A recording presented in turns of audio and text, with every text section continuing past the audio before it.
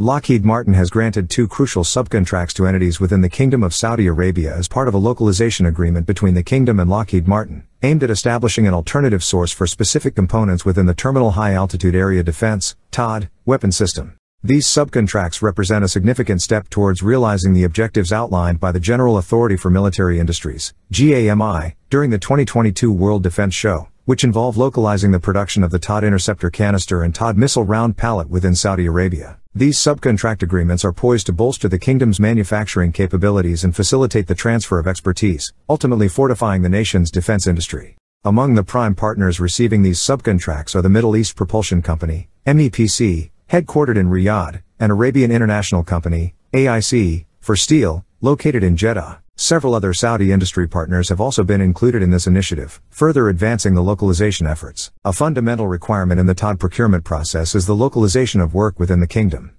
This aligns seamlessly with the objectives set forth in Saudi Vision 2030, aimed at fostering the growth and localization of military industries within Saudi Arabia. The kingdom stands to reap the benefits of these strategies through strategic international defense partnerships with Lockheed Martin and other leading original equipment manufacturers, creating mutually advantageous outcomes for all stakeholders involved. Joseph Rank, chief executive for Lockheed Martin in Saudi Arabia and Africa, expressed his satisfaction with the progress of localization efforts, stating, Our localization efforts in the kingdom are progressing, and we're very proud to see that MEPC, AIC Steel, and other Saudi partners are now ready to engage in manufacturing and supporting key components of the THAAD weapon system. It's a significant milestone.